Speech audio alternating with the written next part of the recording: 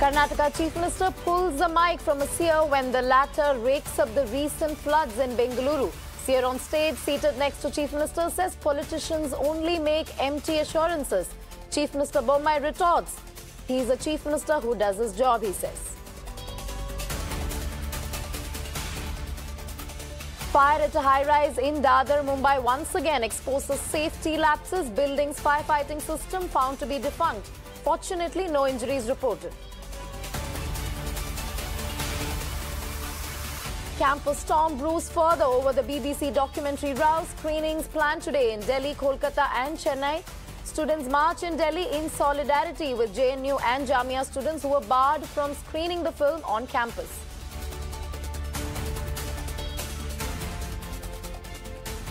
Bharat Jodo Yatra enters its last leg to resume from Banihal in Jammu and enter Kashmir today.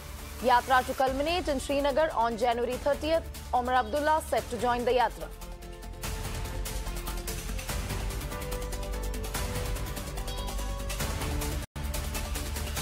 More cheetahs soon for India. South Africa signs an agreement with India to introduce dozens of African cheetahs in India over the next decade.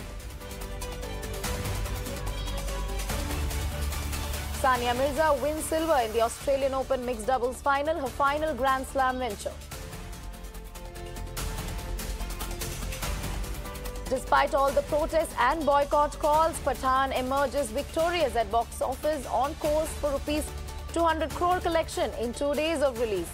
Bollywood lauds SRK starrer call it a treat to watch.